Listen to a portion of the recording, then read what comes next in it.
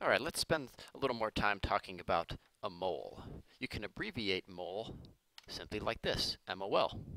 Now that might not seem like um, much of a shortcut, but you'll write that so many times, turns out um, it will be a time saver.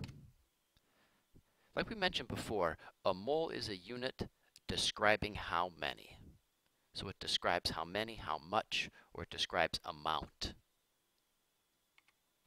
It's similar to a dozen, um, but as we already established, a mole is not equal to 12. Remember that one mole is equal to 6.02 times 10 to the 23rd. So just as you can have a dozen of anything, you can have a mole of anything. So you could have a dozen eggs, that would mean you had 12 eggs. If you had a mole of eggs, that would mean you had 6.02 times 10 to the 23rd eggs. So if you'd like, um, for a little while, you can think about a mole as kind of like a dozen. Just keep in mind that a mole is not equal to 12 at all. Now this is very important. Commit this number to memory. This is um, the guy that came up with 6.02 times 10 to the 23rd. His name is Avogadro, so sometimes this number is referred to as Avogadro.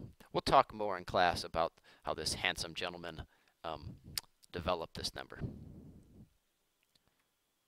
So how big is a mole? Because this is a number 6 with 23 zeros after it. That's sort of hard to comprehend.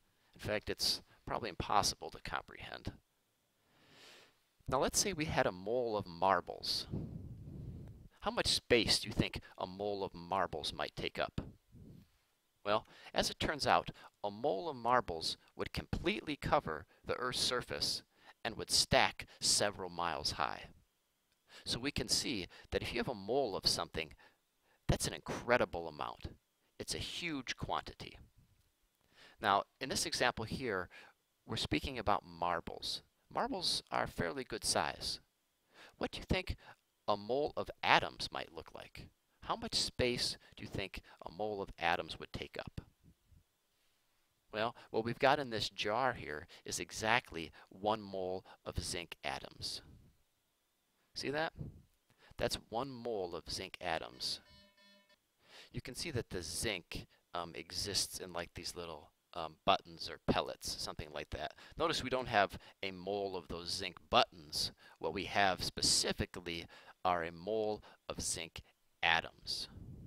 So if marbles take up, you know, the entire surface of the Earth, but a mole of zinc atoms only take up this much space, what does that tell you about the size of an atom? Well, it tells us that the size of an atom is exceedingly small. So a mole is going to be very useful to us in science because atoms are so small we'll be unable to count them. But what we can do is we can measure them with a balance or a scale. So that's what we'll be discussing in the next video. We're going to be discussing a method of counting by weighing.